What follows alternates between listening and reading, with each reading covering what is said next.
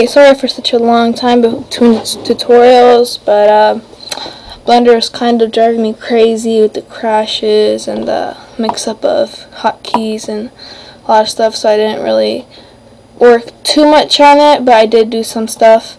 But my computer, I ordered a new one. It's a Dell i5 core, so hopefully that'll be better than my last one, and I can make better tutorials. So in this one, I'm actually going to show you how to make an, a realistic electrical plug. Just this part right there. Let me make that a little better. And bring that whole thing down. There you go. Just like that. This right here. Now take a look at yours. It looks very similar. So that's what I'm going for. I made a lamp too. But I'm just going to focus on this and some material for it. Not going to be exact material, of course, depending on what your scene's going to be. Cartoon or realistic or just, you know, average animation. So let's start a new file. Alright, so let's get started. Let's X and delete that. And, alright, there you are. Shift A and let's add a plane. Let's hit 3, R, 90. Rotate 90 degrees. Just like that. Let's hit 1, tab into edit mode box select the top vertices and bring them down because as you know that they're not rectangular. They're and they're not square they're rectangular. So now we can add a subsurf modifier. Just like that. Alright now let's just hit this button right here. We're gonna need it later. And 5 I like working in ortho view better than perspective. Alright so now hit A to select all. Now we're gonna hit E and extrude it some. Then hit S and scale that out a little bit. E again, and as you can see, if I leave the if I leave the extrusion as it is, it acts as a loop cut. That's pretty cool. But uh, I actually want to hit S to scale that out and bring it out a little bit. And hit E again. Not as much as the first one. E once more, and S again to scale it in this time.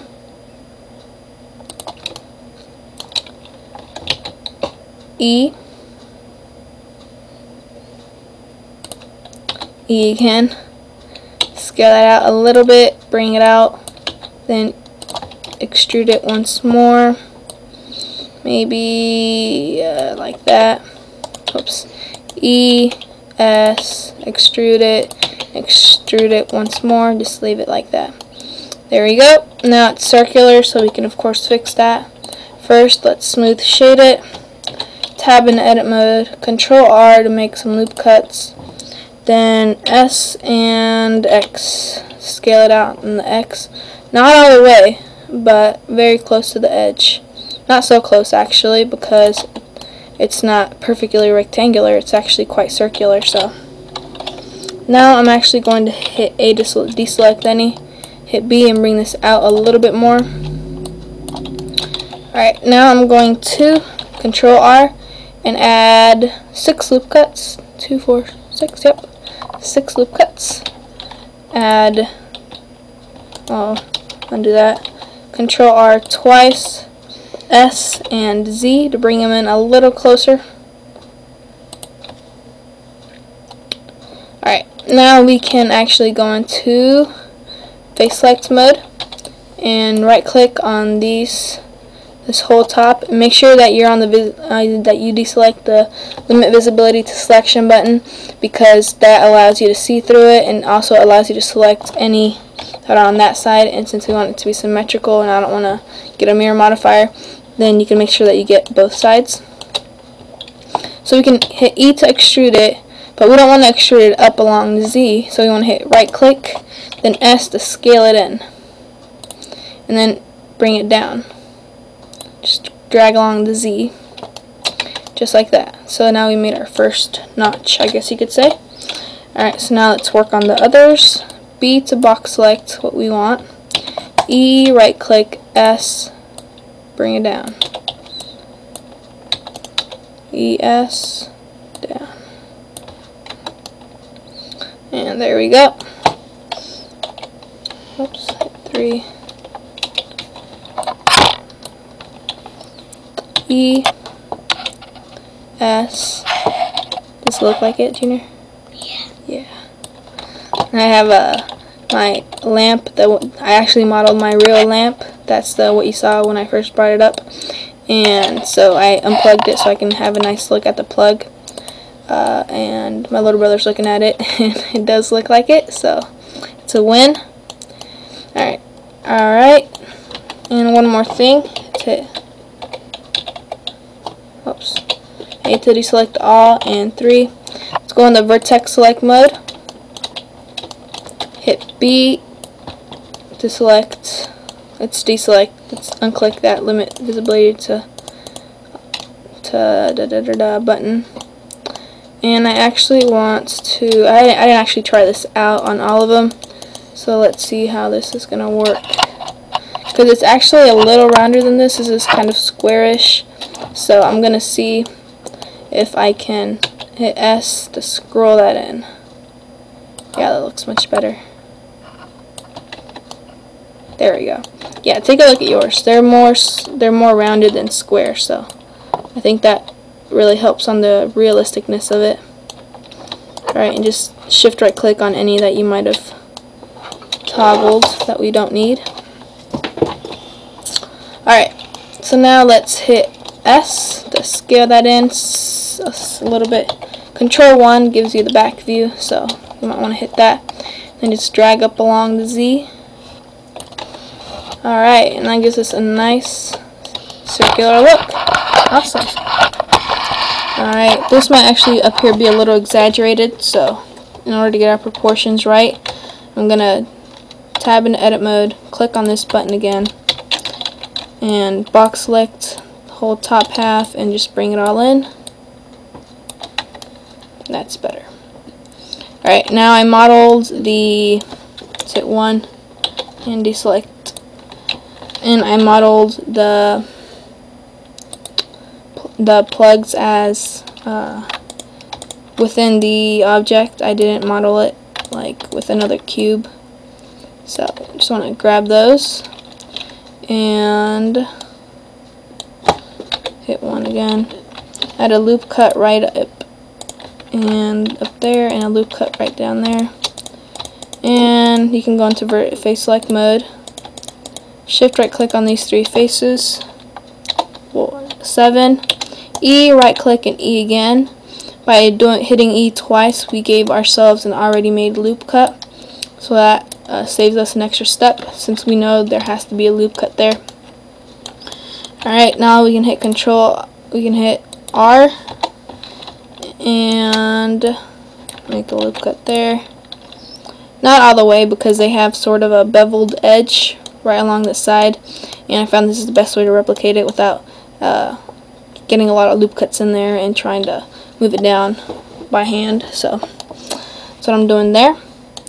Alright, now we can hit one. And I'm only going to do it on one side. You can do it on the other prong. So add two loop cuts. Bring them over along the Y, close to the middle. And these two loop cuts actually serve pretty good, so I'm just going to use those. Go into face select mode, right click on this middle face, and delete that face. Same with the back face. Now we're left with the hole. Now that's going to serve, that's how we're going to cut a hole into it.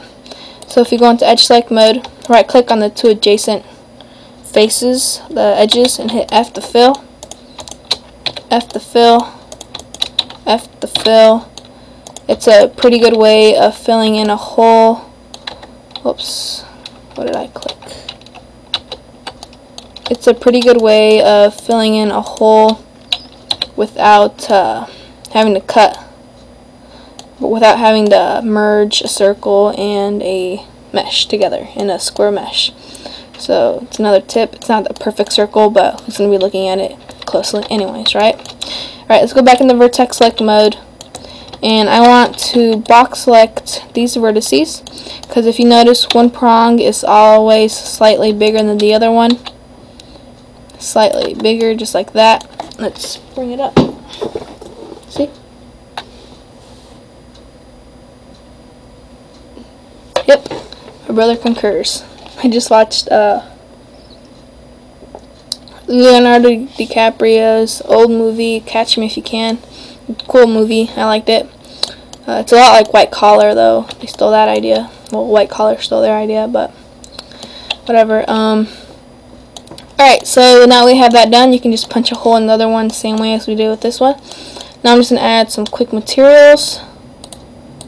New material, name that black plastic. And give it a dark look, of course. Increase specularity and decrease the hardness, giving it that plastic look. Right?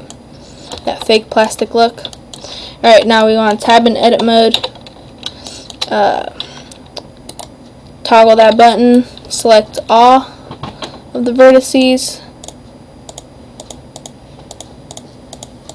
Oh, I suck at this. Alright, it's at 7.